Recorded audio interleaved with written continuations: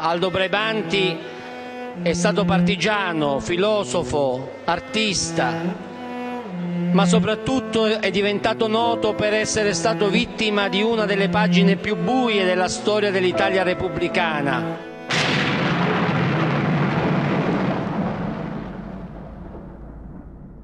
Un'assurdità, un'assurdità, Braibanti non era lì a plagiare la gente. È un caso che spacca l'Italia in due perché lo difendono anche altri intellettuali, non so, Umberto Eco, appunto Pasolini.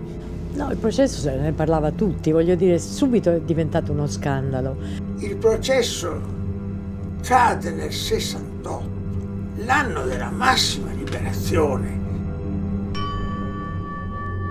Si agiva proprio in casa sua, una camera, mi ricordo, lunga, questa stanza di Diallo, in questo teatro violentissimo. La Corte dichiara Braibanti Aldo colpevole del reato ascrittogli e lo condanna alla pena di anni e nove di reclusione. Il momento della condanna è stato davvero un momento sul piano umano molto molto molto duro, molto duro.